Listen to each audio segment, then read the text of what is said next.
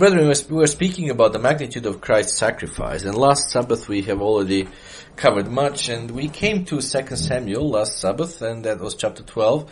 We came to the situation when Prophet Nathan approached David, because David was not aware of the magnitude of his sins, and the Prophet Nathan appear, approaches David and gives him a story.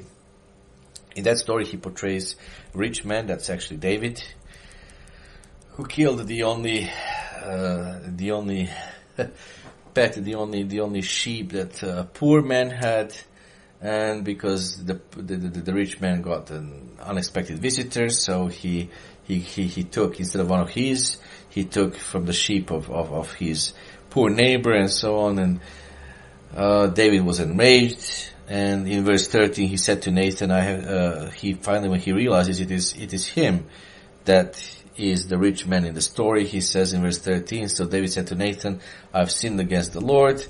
And then, you know, he immediately recognized it was, it was primarily sinning against the Lord.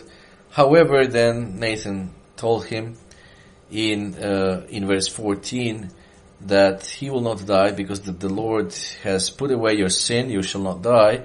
But however, because by this deed you have given great occasion to the enemies of the Lord to blaspheme, the child also who is born to you shall surely die.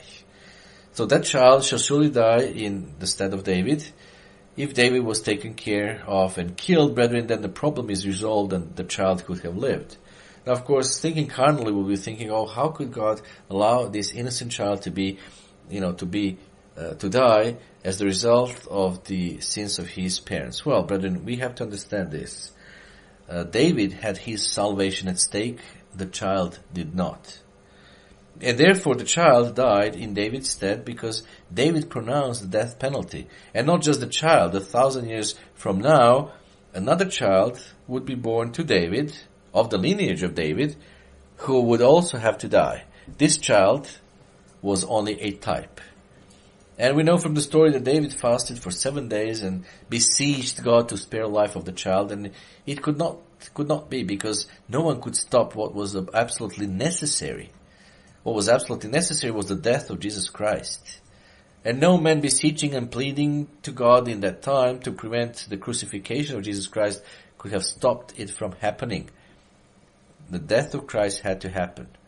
And this child was a type of death. Even Jesus died, denied his death. You know, he pleaded that he would not have to die that way. Remember when he was praying, if this cup may just, you know, pass pass me, but no, no, no amount of pleading, even on the part of Jesus Christ could stop what had to be.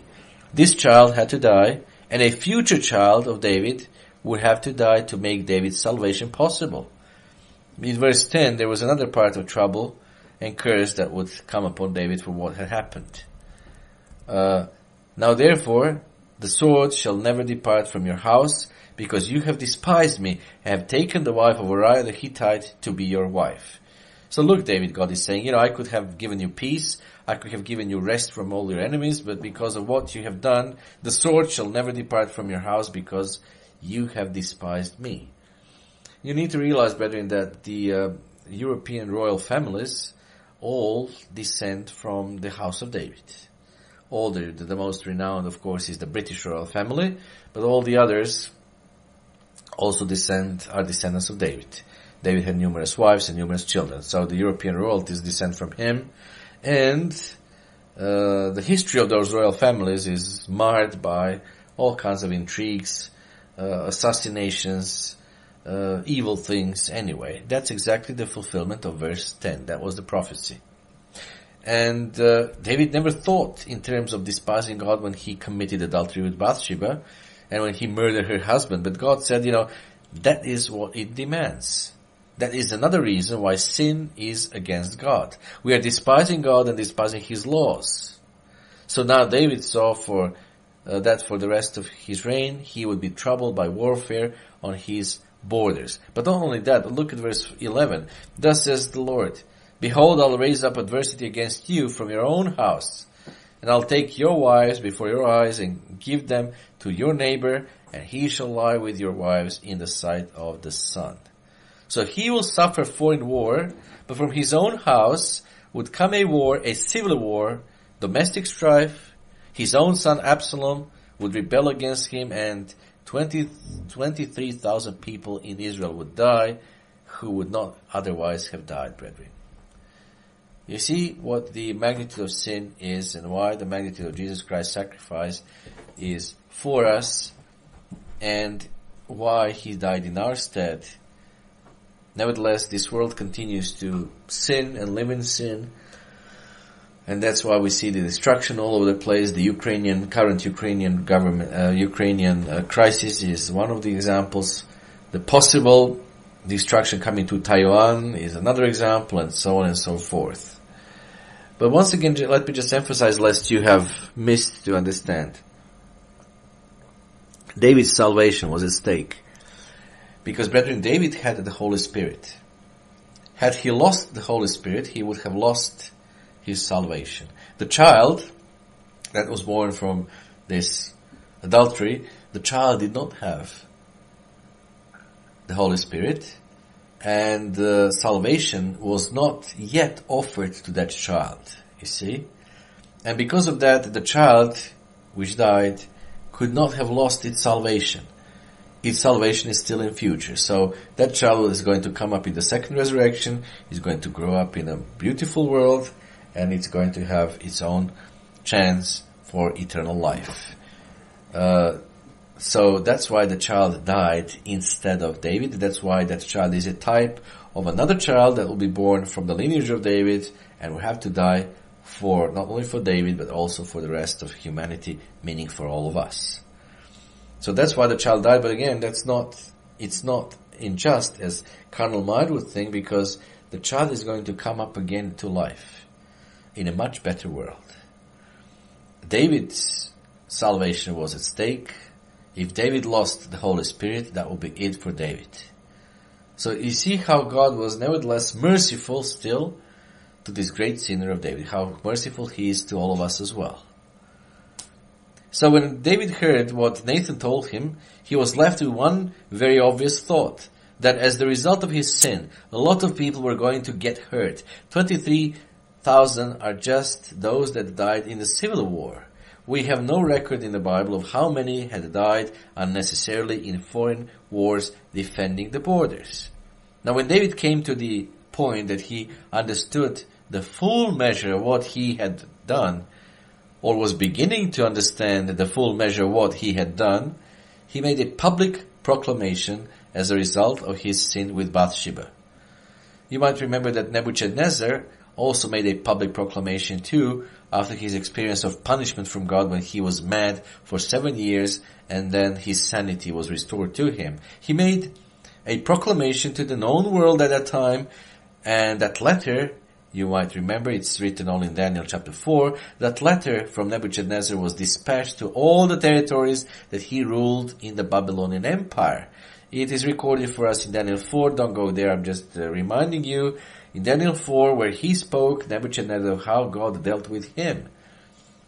And he said, well, the, the God that Daniel was serving is a true God that he now, as a, well, Nebuchadnezzar never, never, was never converted, but nevertheless he recognized that the God of Israel was the true God. Interesting, brethren, very interesting. The main despot of that world, the main dictator of the world, nevertheless, recognized the true God. He never believed in the true God. He never got converted, but he did recognize him. Now, and he made that public. It was a public proclamation. Now, David also made a public proclamation to the world. Let us now turn to Psalm 49. And before we read these three Psalms, I want to bring our attention to this, brethren. Psalm 51 is recognized as being written by David at the time of Bathsheba and what happened. Psalm 49 and 50 are not recognized that way. In fact, the commentaries give other interpretations of those, these two Psalms, none of them relating to David and the time of Bathsheba. It has been speculated, though that these two psalms could fit into that time. And they preface Psalm 51 and also they indicate the three stages of repentance that we have been talking since last Sabbath. And those three stages are seeing what we have done, seeing what we are, and finally seeing what we have really done. Now here's one possible interpretation of Psalm 49 and 50. Some of the verses may not fit, they may not seem to fit at all. Again, I'm not saying that this is definitely something that was put together by David at the time of Bathsheba, because other commentaries would not take it in that line. But there is a distinct possibility, as you will see, that these two prefaced Psalm 51. So a public proclamation, Psalm 49, verse 1. Hear this, all peoples. Give ear, all inhabitants of the world. So this wasn't just for Israel, brethren. This wasn't just for the house of Israel. This is for all the nation. For all the nations around the world. Verse 2. Both low and high, rich and poor together. Remember the parable of Nathan about the rich man and the poor man. My mouth shall speak wisdom, and the meditation of my heart shall give understanding. Now David meditated long and hard on what had happened. I'll incline my ear to a proverb, the proverb of Nathan. I'll disclose my dark saying on the harp. In other words, I'm going to expose to you what is deep inside me, what I really feel I have done. Here is my dark saying. Verse 5. Why should I fear in the days of evil when the iniquity at my heels surrounds me? You know, after all, I'm a king. I'm untouchable. So what if people begin to find out that I committed adultery with Bathsheba and that I killed her husband? I'm untouchable because I'm king. Why shall I fear in the days of my evil, when the iniquity at my heel would surround me, when people begin to find out what happened? In other countries, kings do what they want, so they get away with it. Why should not I? This was my dark saying, my inward thought before God took me in hand. Then we continue in the psalm, those who trust in their wealth and boast in the multitude of their riches. Now, brethren, who had more riches than David at that time? A multitude of riches, the rich man of the parable, but cannot give a ransom for himself because none of them can by any means redeem his brother, nor give to God a ransom for him. In other words, David is saying, I cannot bring Uriah back to life. If I could give up all my wealth to make it possible, I would have done so, I would do so. But my brother is dead, and he is going to stay dead. For the redemption of their souls is costly, and it shall cease forever. That he should continue to live eternally, and not see the pit. For he sees wise men die, likewise the fool and the senseless person perish, and leave their wealth to others. So David is saying, I thought I was wise, but I found out that I am a fool and that I am a senseless person, and they leave their wealth to others as I will. Their inner thoughts is that their houses will last forever, their dwelling places to all generations, they call their lands after their own names. you know, for God said to me before Bathsheba in 2 Samuel chapter 7, 2 Samuel chapter 7, and this is verse 12, when your days are fulfilled and you rest with your fathers, I'll set up your seed after you who will come from your body and I'll establish his kingdom. This is the prophecy of Solomon. Verse 13, he shall build a house for my name and I'll establish the throne of his kingdom forever. Now in verse 16 of 2 Samuel chapter 7, and your house and your kingdom shall be established forever before you. Your throne shall be established forever. Well, this was my inward thought then, that my house will continue forever, my dwelling place to all generations, and they call their lands after their names. Well, in 2 Samuel chapter 12, at the end of that same chapter, we find that Joab was fighting against Rabbah of the people of Ammon, and in verse 27, Joab sent messengers to David and said, I have fought against Rabbah, and I have taken the city's water supply. Now therefore gather the rest of the people, together and encamp against the city and take it, lest I take it and lest I take the city and it be called after my name.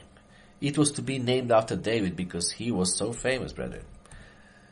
The psalm continues.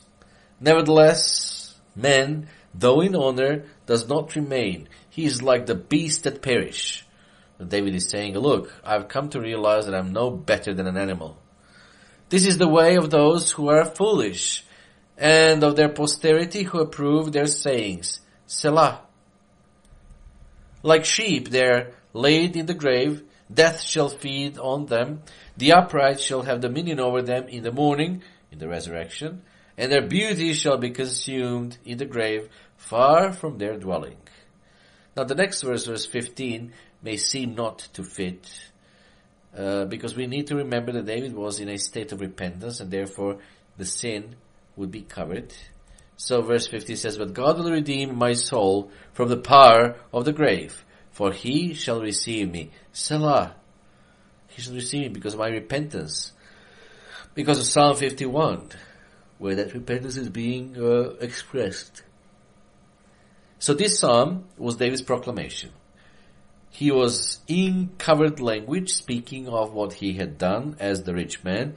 It was what he had done. He wished he could undo it. He would have given all his wealth to pay the price for Uriah to bring him back to life, but he could not redeem the soul of his brother brethren. So David repented of what he had done. But David also had to repent of what he was. So God made a proclamation to the world. Now the next psalm says a psalm of Asaph. Now it can be translated as a psalm for Asaph because it is, if it is for Asaph, then most likely, once again, it was written by David. And this time, it is God's proclamation. So Psalm 949, David's proclamation to the world. Now God's proclamation because God had a lesson yet to get across to David. Psalm, and it says, Psalm of Asaph, the mighty God, the mighty one God, the Lord, has spoken and called the earth from the rising of the sun to its going down. In other words, it's to every corner of the globe. Now God goes on and speaks to the kingdom of people of Israel before he narrows it down to the individual. Verse 7. Hear, O my people, and I'll speak, O Israel, and I'll testify against you. I am God, your God. We have a hymn very well known that we, when we sing this Psalm 50. I'll not rebuke you for your sacrifices or burnt offerings, which are continually before me.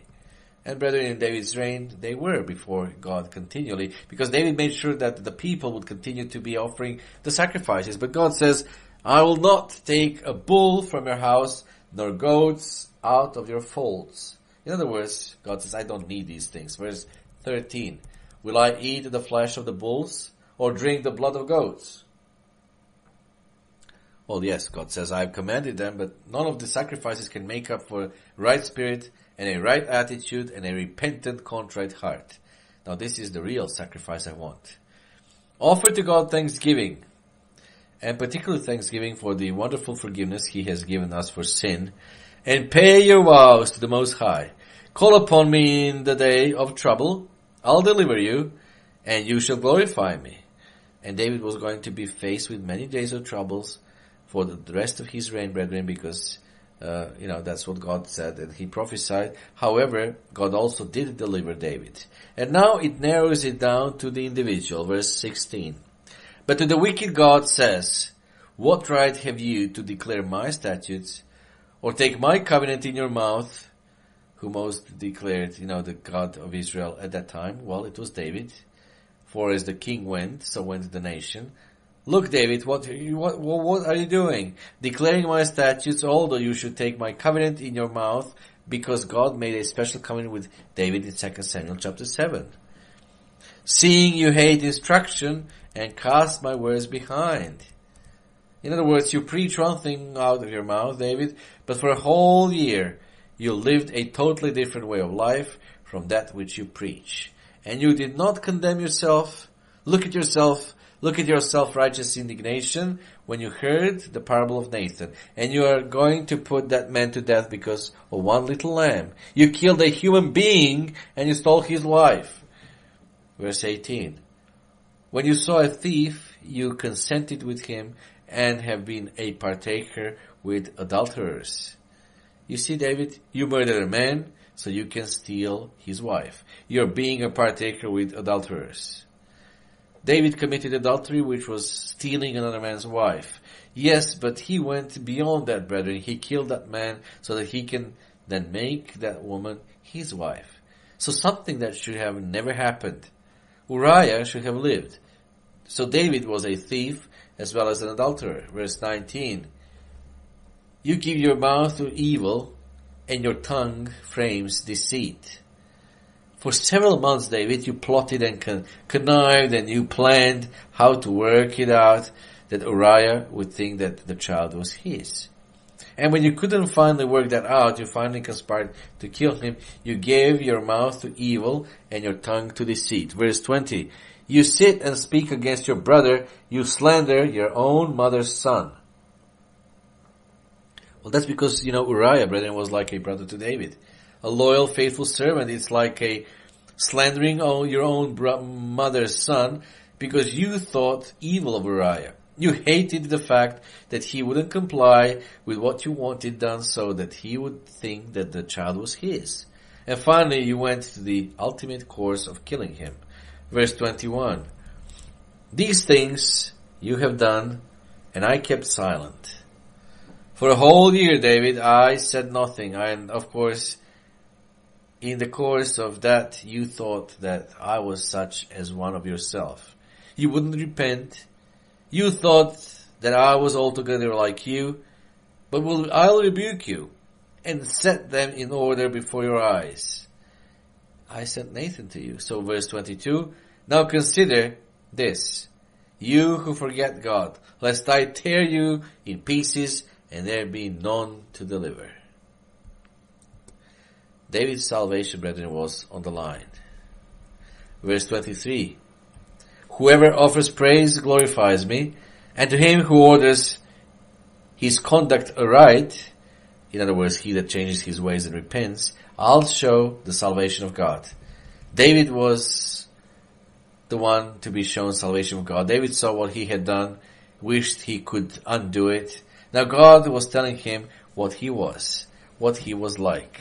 Romans chapter 2 say, about judging others when we do the same things, brethren. Romans 1 talks about Gentiles and what they have done. Romans 2 condemns the Jews because they were condemning the Gentiles for what they have done thinking, well, we don't do that. And Paul says, oh yes you do. You may not have done the physical action of committing adultery and therefore think, well, I'm so righteous because I haven't done it. But you have done it. You have done it up here with the mind. You see, brethren, some people, when they want to be baptized, they can say, well, I see certain things I have done, but they don't have, you know, the concept that every day they will live, they have lived on the face of the earth, they were sinning against God. Not by living, but because of what their mind was thinking every day of their life. Sin is not just what we have done. It is what we are. Psalm 51. Now after God's proclamation, David began to see far more of what his sin entailed. Have mercy upon me, O God. David could not have said that God was merciful to others. You know, I've been kind. I've let people off. Please be merciful to me. David was the man in the parable who reached out and took what wasn't his and had no pity according to your loving kindness, according to the multitude of your tender mercies, blot out my transgression. My transgressions, that is in plural, well, those are indeed transgressions in plural, stealing, adultery, lying, murder, the whole gamut. Verse 2, wash me thoroughly from my iniquity and cleanse me from my sin. Because there was no way David could wash off that blood from his hands, brethren. God had already told him in the preceding psalm that no animal sacrifice would take care of it. For I acknowledge my transgressions, and my sin is always before me. A horror of what he had done. And then in verse 4, Against you, you only have I sinned. In 2 Samuel he said, I have sinned against the Lord. But now there is a greater emphasis on it, brethren. Against you, you only have I sinned. So David had murdered a man, he used his wife, brought about the death of their child.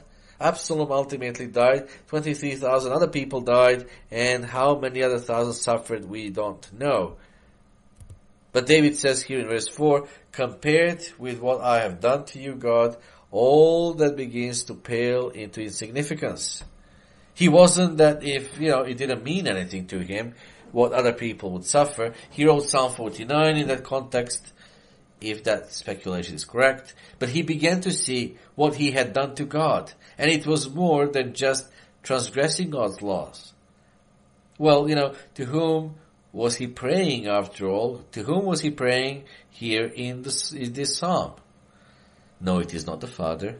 It says in the New Testament that Jesus Christ came to reveal the Father. So, Daniel was praying to the God of the Old Testament. He was praying to Jesus Christ. The God that David was down on his knees in front of. The God whose mercy he was begging.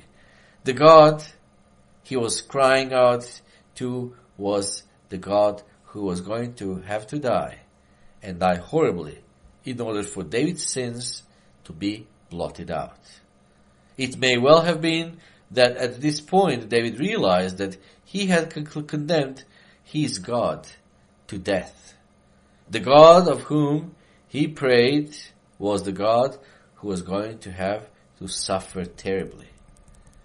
Verse 16, For you do not desire sacrifice or else I would give it.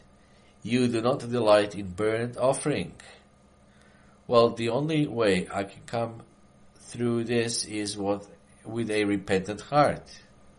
Verse 17, the sacrifices of God are a broken spirit, a broken and a contrite heart. These, O God, you will not despise. Brethren, no animal sacrifice could have atoned for the sin. It says in Hebrews 10 verse 4, for it is impossible that the blood of bulls and goats could take away sins. Now it would require the sacrifice of God himself, the God to whom David was praying, David had prayed. And only the true, only true repentance over that sacrifice, discerning the Lord's body, can bring forgiveness, the forgiveness spoken of in verse 17. Now, what tore David apart at the end? What shattered him to the point that he got down on his knees and deeply and bitterly repented in a way that he had not done before? He repented before, but never to the, the same depth, brethren. What really got to him was when he realized what was going to happen to God. It was a thousand years distance for David, two thousand years behind us. He began to understand the full gravity and magnitude of sin. That is not, it is not just breaking God's law. It is the breaking of God himself. The God must die and die a terrible death to get across to us how terrible sin is and its consequences. Do we think that David understood what the, that death was going to be like? Well, he was the principal prophet to whom God prophesied that death. Let's go to Psalm 22. This psalm was written earlier by David. It is clear from the psalm that he is not talking about himself. If it was written earlier, if God inspired it earlier, then David would, well, then David went back and read it now with a whole new understanding. It may, however, be that God, after Psalm 51, inspires Psalm 22. Well, we may say, but that does not follow the sequential order. Other psalms are not written in sequential order, from the standpoint of being consecutive in time. Psalm 32 is recognized by the commentaries as related to Psalm 51 that it was written at the same time. But you know, you don't find the same topic in Psalm 52, but uh, in Psalm 32, uh, you you find the same topic. There are books and uh, well, because there are books and divisions in the Bible. Now, the Psalms were placed according to subjects, not according to the time in which they were written. So if Psalm 32 was written at the same time as Psalm 51, and the commentaries generally agreed on that, then Psalm 22 could have been written after Psalm 51, when David really began to understand what God was going to have to go through. Maybe it was at that point that the God to whom he was praying in Psalm 51 revealed to him what it would take, you know, to cover David's sins. But if it was written earlier, that he must have gone and back and he must have read, read it with a new understanding. Psalm 22, he was reading it with a new understanding indeed. Now we mentioned earlier that this was the greatest gamble in all eternity, brethren. In all of eternity, that was the greatest gamble because God risked his eternal Godhead. In, it says in Philippians chapter 2 verse 5, 6, 7, let this mind be in you, which was also in Jesus Christ, who being the, in the form of God, did not consider it robbery to be equal with God, but made himself of no reputation, taking the form of a bondservant and coming in the likeness of men. So he gave up his Godhead. Were there a possibility that he would never get it back again? Yes. Yes, but it's true that Jesus Christ was born in, uh, of the Spirit through Mary, he didn't have a human father. His father was God. Now Mary was pregnant by the power of the Holy Spirit. It's true that, you know, he had the Holy Spirit given to him as a gift of God from birth. And it's also true, as the Bible says, that Jesus Christ had the Holy Spirit without measure. But, it, but despite all those three advantages, Christ still had human nature that was imparted to him from his mother. And Jesus Christ was a free moral agent, you know? So to manage 33 and one half years without one single sin of the mind, let alone the action, is utterly incredible. And one single sin would have take, would have blown it all. One single, you know, sin. Now, when Satan put uh, a tempting thought into his mind, if at any if at any one time he had entertained that thought, his sacrifice would not have been perfect, brethren, and you and I would not be in this service today. And Jesus Christ would not exist, period. We need to understand what would have happened if Jesus Christ had failed. Well, we may think that with all those three advantages begotten by the Holy Spirit in Mary's womb, with God's Spirit from birth, and the Spirit without measure, that surely He had it made. But uh, if Jesus Christ was not sure He could win, why did He fast 40 days before He took on that great uh, temptation with Satan in the wilderness? You know, uh, if Jesus Christ was so sure he could make it through the crucifixion without sin, why did he beg God to do it some other way and to spare him crucifixion? Brethren, Jesus could have failed. That is why he said, by myself have I sworn. He was willing to give up his eternity that we might share salvation with him. If Jesus had failed, Satan would have had the last laugh on God, and this earth would have been incinerated. Brethren, God said He would, would destroy it by a flood, but the incineration of this earth would have come much earlier anyway. So if, when Jesus Christ was being crucified, He had yielded to one thought of hate, that would have been it. Without that perfect sacrifice, there will be uh, no salvation for us, and there would be no fulfillment of the promises to Abraham because they were dependent on that perfect sacrifice. Abraham would have died, uh, well, he would have died, of course, and he would have lied that, that forever if Jesus Christ failed. And Jesus Christ would have been dead forever too. And what would be the reason for carrying out? What would be the reason to going on? You know, to let human beings live in Satan's world with no chance of redemption, well, God would have had it, God will have to destroy it and to put everyone out of his or her misery. And probably would have destroyed it by fire as he will do with the third resurrection. Now Jesus would have died for his own sins and stayed dead. God would not resurrect him for two reasons. First of all, because of his vow, by myself I have sworn.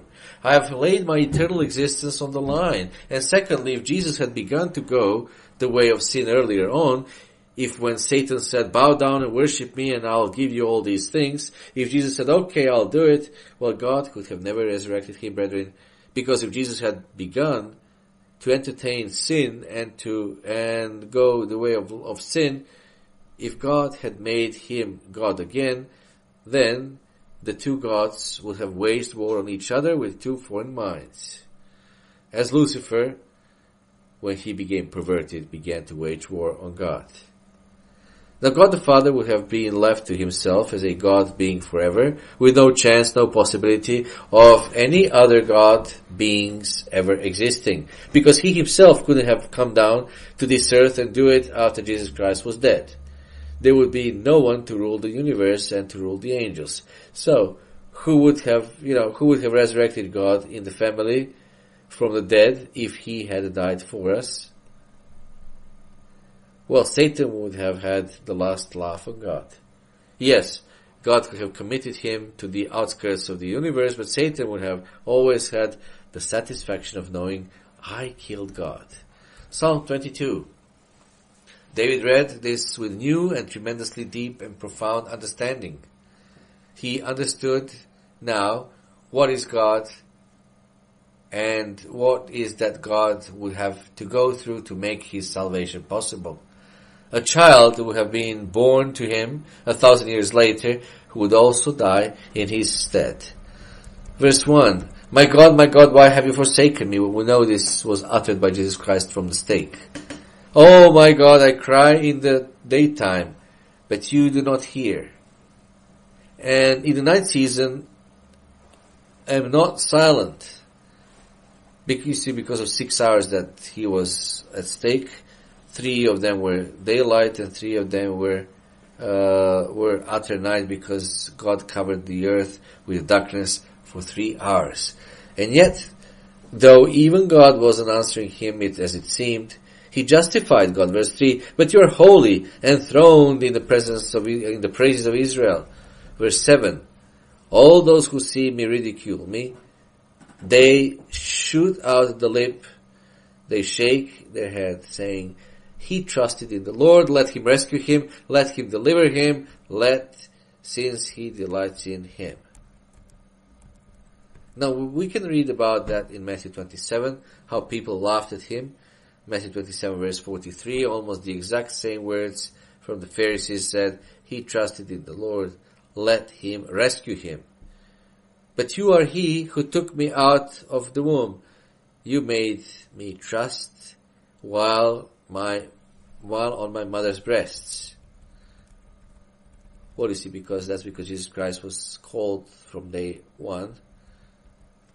I was cast upon you from birth, from my mother's womb. You have been my God. Well, it was God, by His Spirit that begat Jesus Christ in the womb of Mary. Verse 12. Many bulls have surrounded me, strong bulls of Bashan uh, have encircled me. Now, of course, this is metaphorically speaking because he looked like torn by bulls after being scourged by the Roman soldiers. Verse 14, I am poured out like water and my bones are out of joint. My heart is like wax. It has melted within me. You see, as they lifted the tree, the tree of, of crucifixion, as they lifted that tree up, and dropped it to the ground. All his bones were put, were basically out of joint. Verse uh, 16. For dogs have surrounded me. The congregation of the wicked has enclosed me. They pierced my hands and my feet. Dogs, of course, referring to Gentiles, to Romans. They pierced my hands and my feet. Well, this is so clearly not David, brethren. Christ inspired this to be written through David. And if it is, and if it wasn't at the time of Psalm 51, then certainly David, David read it with a new understanding.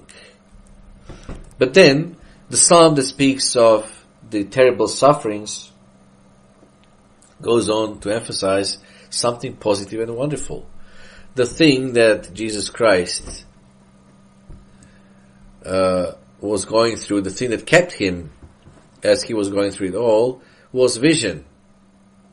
Now, the vision of what was beyond his sufferings, just as we must remain uh, must remain in vision. We must maintain the vision, brethren, because as Paul said, for I consider that the sufferings of this present time are not worthy to be compared with the glory which shall be revealed in us. This is close to Romans 8:18. so, hanging there on the stake, Jesus was able to say that the day will come, verse 22, when I'll declare your name to my brethren. In the midst of the assembly, I'll praise you. I'm going to live again and a whole new life. Verse 23. You who fear the Lord, praise Him. All you descendants of Jacob, glory Him. And fear Him, all you offspring of Israel. For He has not despised nor abhorred the affliction of the afflicted. You see, God had to put me through it. Yet, nor has He hidden His face from Him but he, but when he cries to him, he heard. Verse 25, My praise shall be of you in the great assembly. I'll pay my vows before those who fear him. The poor shall eat, the poor shall eat and be satisfied.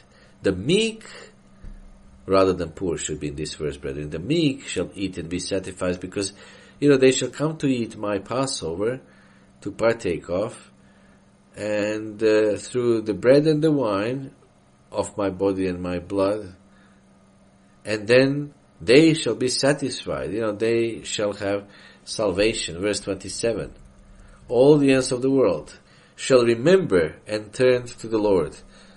Well, in other words, brethren, salvation will one day be open to all humankind. Verse 28. For the kingdom is the Lord's, and he rules over the nations verse 30, speaking of us in this room, speaking of us in this call. A posterity shall serve him. I will be recounted of the Lord to the next generation. So these are the next generations. You know, we are one of those generations because it was recounted the, the eras of God's church from the time of Jesus Christ's death to now. You know, he has been recounted. You know, to the next generation. And verse 31, they will come, not only will they, but they will come and declare his righteousness to a people who will be born. And uh, we declare it today to this end time generation, brethren, that he has done this, that the God who made men became men and died of for men, you know. Brethren, when we partake in about five days, we'll be partaking of the Passover. When we partake of the Passover, we must discern the Lord's body. We must discern what Jesus Christ was willing to go through for us and what he put at stake. He put at stake his own eternity. Now because if we are to preach this coming salvation to all humankind, we, we of all people must know what what makes that salvation possible in our own lives is the magnitude and tremendous sacrifice of Jesus Christ. And if we are to preach this coming salvation to all men and all women, of all people, we must know what makes that salvation possible indeed in their lives and what makes it possible in our lives.